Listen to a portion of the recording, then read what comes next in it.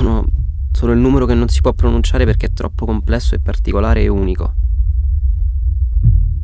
Ma le cifre che fanno me sono le stesse che fanno tutti.